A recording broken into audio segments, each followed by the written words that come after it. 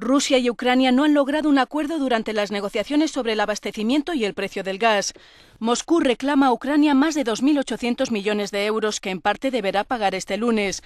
En un pulso feroz, el primer ministro ucraniano Yuri Yetsenyuk y el presidente del monopolio del gas ruso, Alexei Miller, no lograron entenderse ayer en Kiev a pesar de la mediación del comisario europeo de energía, Gunther Oettinger.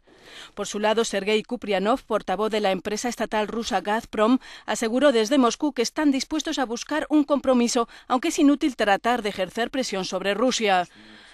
La Unión Europea, que importa gas de Rusia que llega a través de Ucrania, desea que se resuelva el conflicto.